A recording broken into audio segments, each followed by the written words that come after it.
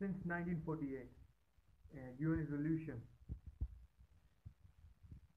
people, millions of people have lost their lives. There have been three, three major wars between India and Pakistan. Kashmir dispute is the longest dispute of, of the world in recent history, which has been still a dispute. Now, it is time that the, that the people of Kashmir get a freedom and peaceful society so they can prosper. They are human beings and they deserve a, a, a better life. A life like people of Pakistan and India are living. More, more than uh, 1.5 million people have lost their lives in Kashmir alone.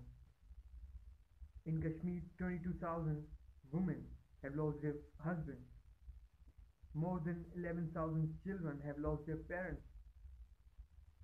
And, and today, even today, people are dying just because there is no result. We are failed to decide how they, they would live. The problem is we are trying to decide how the fate of Kashmir would be. We have to let the people of Kashmir decide how